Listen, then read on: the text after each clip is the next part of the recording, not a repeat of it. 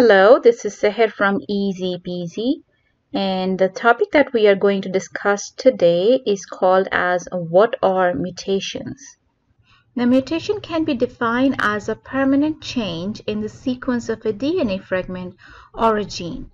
Now this mutation is also present in RNA during the process of transcription and it can be present in protein during the process of translation but RNA and protein is present in our body for a certain period of time.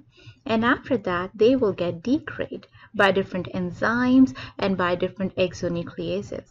So our body will suffer that disease for a certain period of time, but after that we will recover from that disease and will feel better.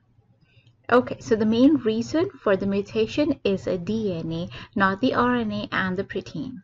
Now there are a lot of different causes for mutations inside the gene. The main causes are radiations, the chemical that we ingest, and the infectious agent that attacks our body and produces different types of disease.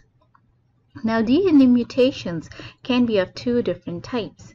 If the mutation is present in the coding region of the DNA, then it is called as coding gene mutation.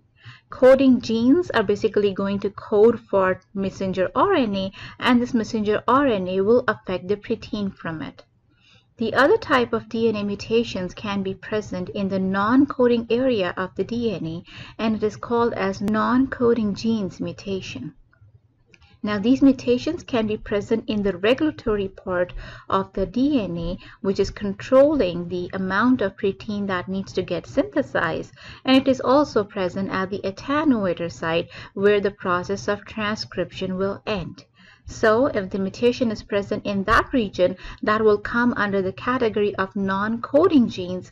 And if they are going to transcribe and translate into a protein and that protein is affected by it, then it will be called as the coding gene mutations. Thank you very much for watching this video. If you like it, please subscribe this channel. Thank you. Bye-bye.